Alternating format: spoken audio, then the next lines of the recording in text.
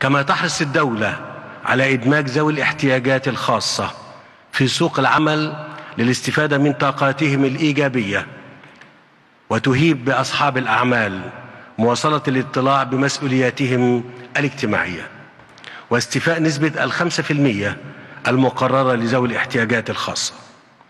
عمال مصر الأوفياء.